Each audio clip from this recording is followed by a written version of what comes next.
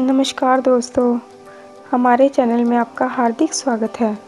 दोस्तों, अगर आपके घर में बरकत नहीं हो पा रही है या फिर कारोबार में तरक्की नहीं हो रही है तो वास्तुशास्त्र में इसके कुछ उपाय बताए गए हैं।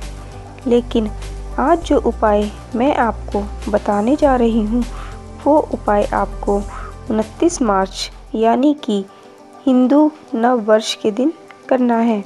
ये उपाय इस प्रकार हैं। उनतीस मार्च को ब्रह्म मुहूर्त में उठकर नहा धोकर अपने घर के मंदिर में श्री गणेश जी की प्रतिमा के आगे संकट नाशक सत्रोत का 11 बार पाठ कीजिए। इसके बाद एक हरे रंग की छोटी सी थैली तैयार करें। इसमें सात मूंग, बीस ग्राम साबुत धनिया, एक पंचमुखी रुद्राक्ष, एक चांदी का रुपया और दो सुपारी और दो हल्दी की गांठ रख कर भगवान गणेश जी की पूजा में रख दें।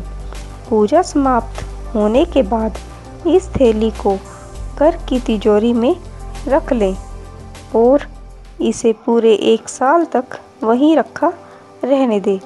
ऐसा करने से आपकी आर्थिक स्थिति में बहुत जल्दी बदलाव आएगा। इसके साथ साथ दोस्तों, गरीबों और ब्राह्मणों को दान करते रहें, क्योंकि हिंदू धर्म में ऐसा माना गया है कि जो दान हम करते हैं, वो कई गुना बढ़कर हमारे पास पुण्य लौट आता है। और जैसे कि हिंदू नव वर्ष प्रारंभ हो रहा है। तो सबसे पहले अगर हम गणेश जी का पूजन करें तो ये पूरा साल हमारे लिए सुखदाई बीतेगा।